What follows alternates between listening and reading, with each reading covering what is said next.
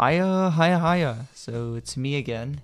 And today, I actually wanted to do a gear overview of my entire account.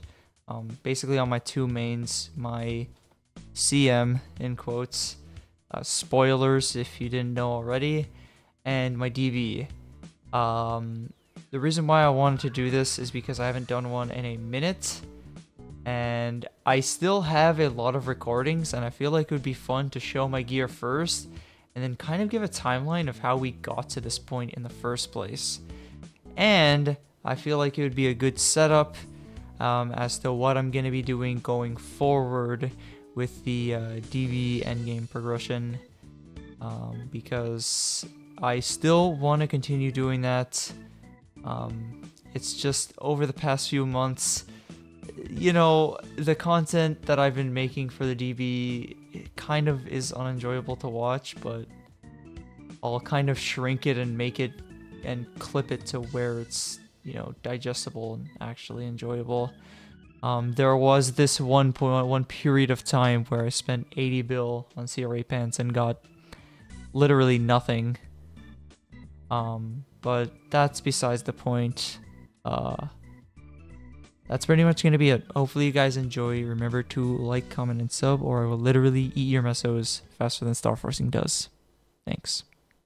Alright, so first and foremost, as you guys remember, the gear on my CM is mostly the same. You'll notice a key difference, um, mainly due to the fact that it's totally a cannoneer, you know, because cannoneers have the ability, uh, Howling Fist, of course. Um, but yeah, uh, I swapped this character to a buck. Um, once again, this character still continue is gonna continue being a side project. And personally, I wasn't satisfied with the strength of Cannoneer. Cannoneer is really weak nowadays in Maple, so I kind of just swapped it to a Buccaneer. And my damage surprisingly hasn't dropped even though I lost my Genesis weapon. For anybody curious, this is what the Arcane Knuckle looks like. And this is what my secondary looks like. Um, nothing really surprising.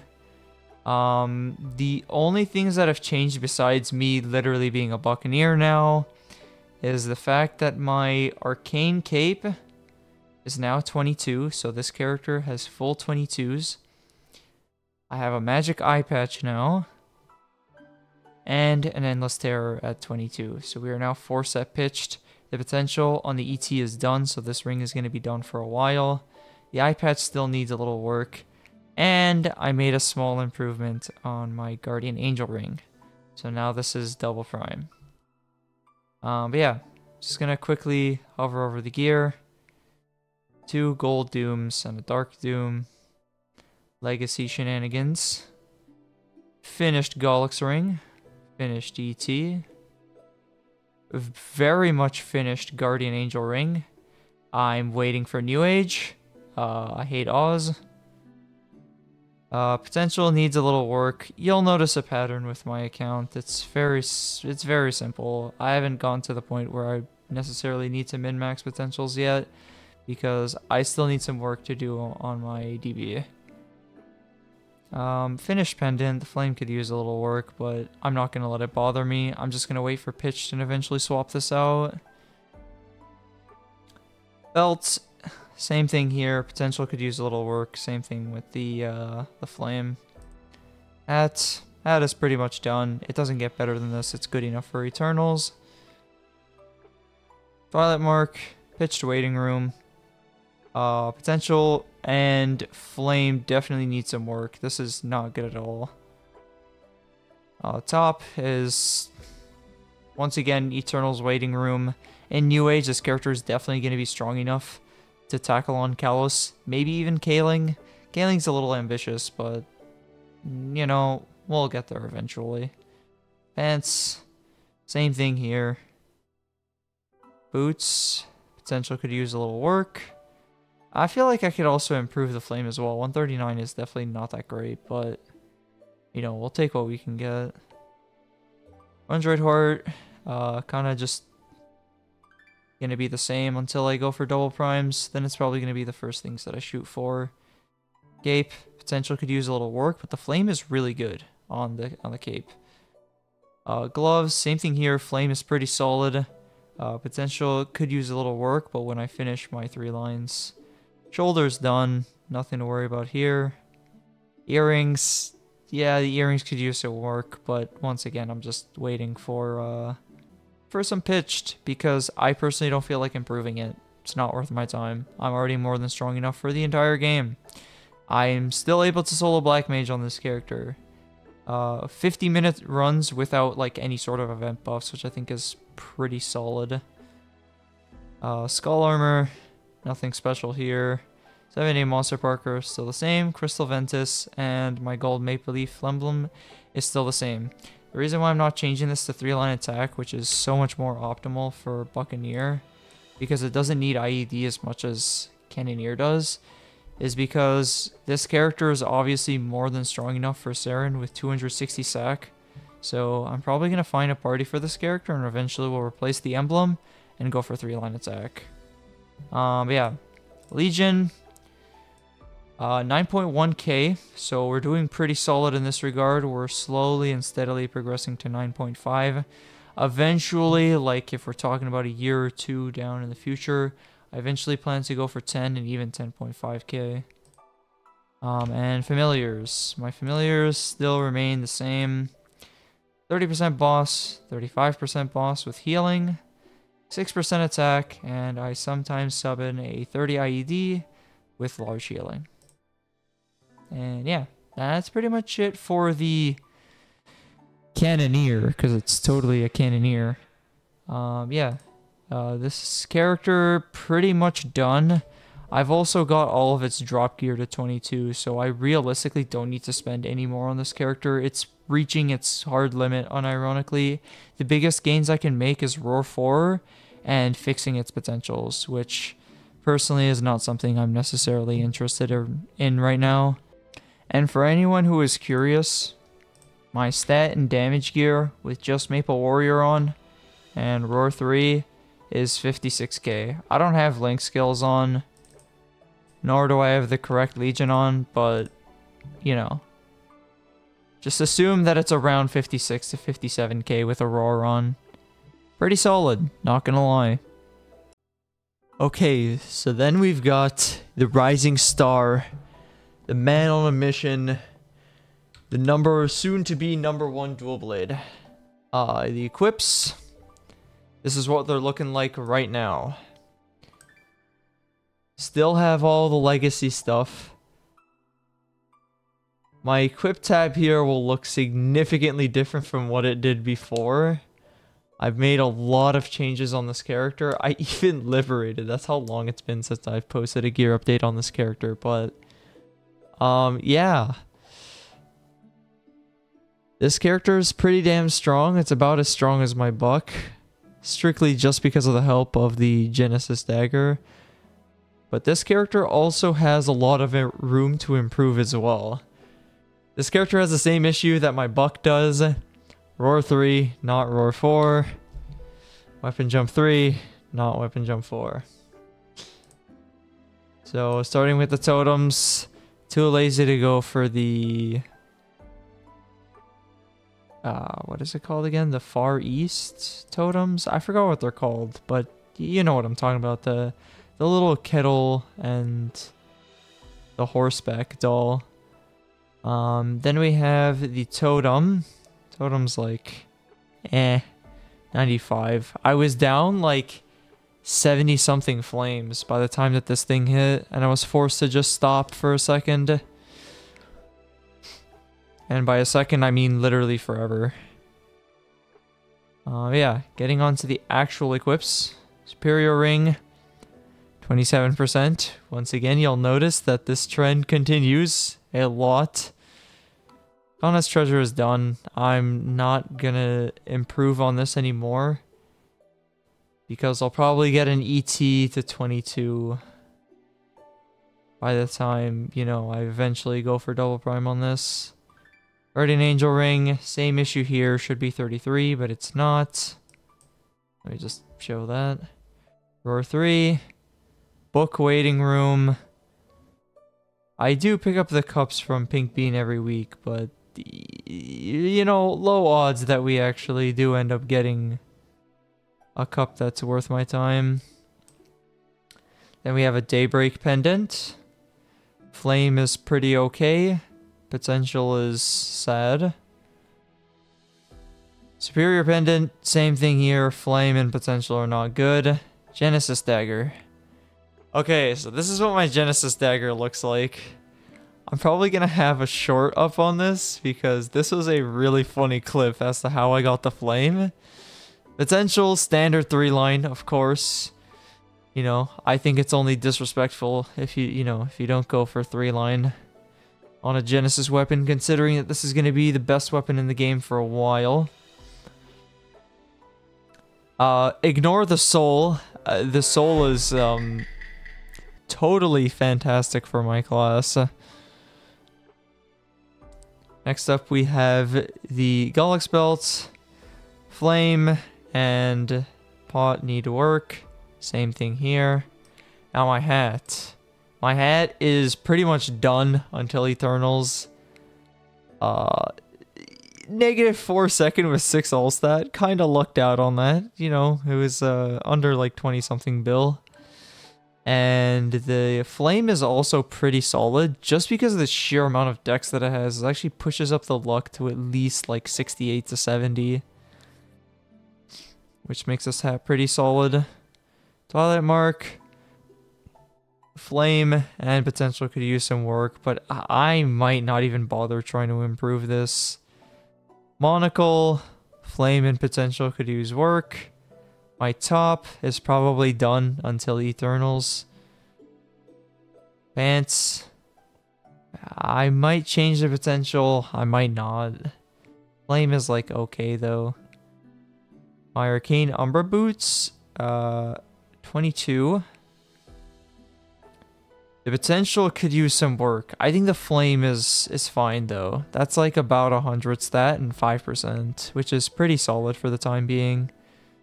My heart.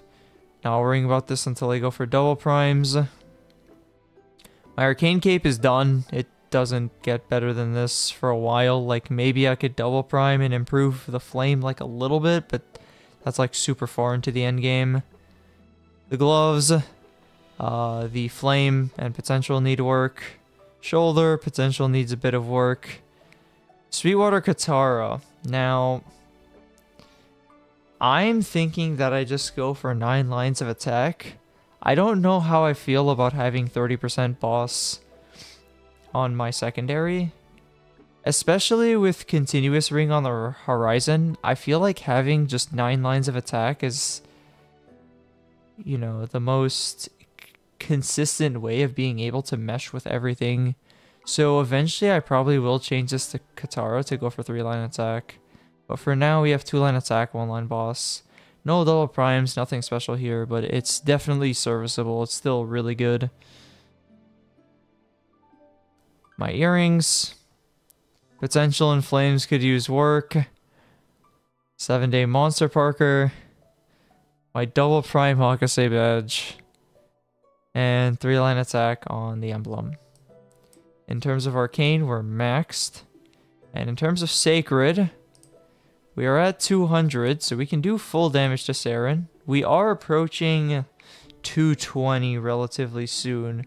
Odium's going to be a minute before it levels up again, but this is definitely nice.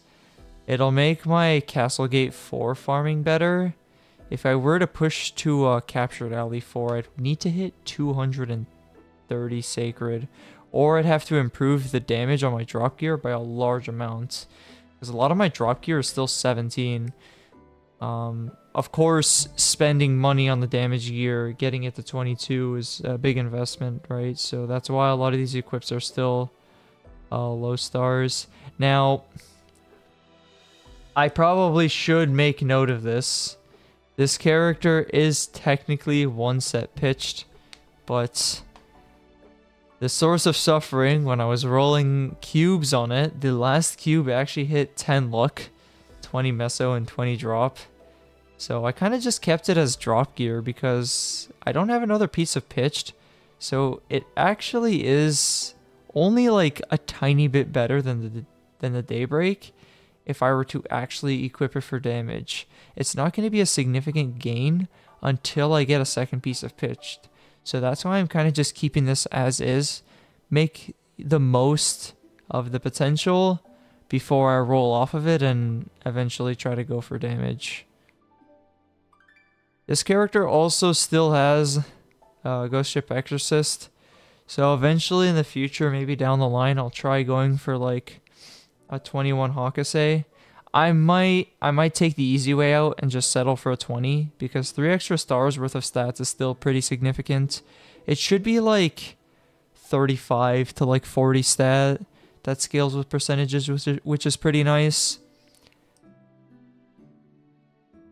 Um, also, in terms of pitched, I do have a CFE and two Dreamy Belts waiting, so there could be a situation where if both of these go and we get another piece, I might be able to switch off of Gollux early and go Force at Dawn and whatever else that fits in my inventory. What else? And then we also have one Arcane Glove and no shoulders. These two pieces, well, I haven't really tapped much of the shoulder, but the glove has not been going for as much as I want it to go. I think I've spent around 50, 50 bill on this glove. Granted, most of my tapping was off of end, so it's kind of within expectations that it doesn't go within that amount of money. But the cape and the boots went up pretty much instantly, so I'm kind of happy about these two. And the reason, and now that they're both 22, I can actually start to split my attention to just these two, right? I can split the attention evenly because now I've got one lucid piece and one will piece. And I've got around 100 droplets for both. I do have more lucid because I've been running on uh, lucid on this for a little longer. But you know, I should be able to grab at least eight, eight or nine. I think it's eight spares. Eight spares for each, so... What I'm kind of just doing right now is saving up for an event, and then I'm going to tap these items, and even if I don't have the droplets to actually buy so that I can buy a piece for free, I'll just spend the 5 bill and I'll just tap again. And hopefully by the end of next event, whether it's a 30% or a 5, 10, 15, we're just at 22 and we can start focusing on min-maxing potentials and getting our drop gear up so that we can do more damage to mobs. In terms of FAMs, this character, uh, uh, we're gonna, we're putting FAMs to the side for a minute. FAMs will only come back into the question when my sixth job is maxed or approaching max, so this is not going to be done for a while, but... The first FAM has 35 boss. Second FAM is 40 IED and large drop. I kind of just keep this on at all times because it's useful in all situations. Granted, it doesn't give me too much damage, but it's just a nice to have. And then I have 5 attack.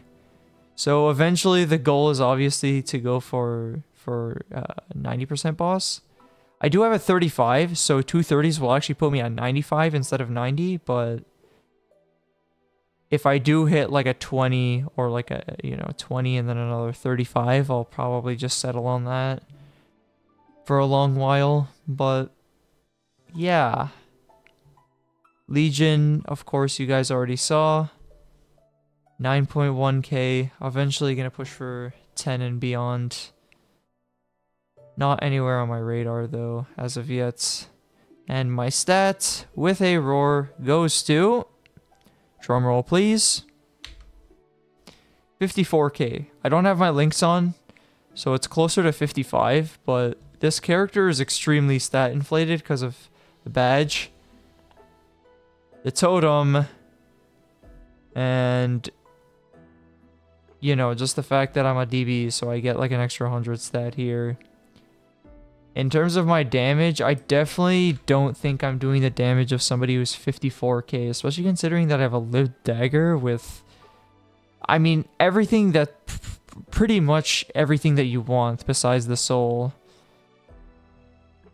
But of course, the two arcanes are some of the most important items to star because they end up giving 80 attack each.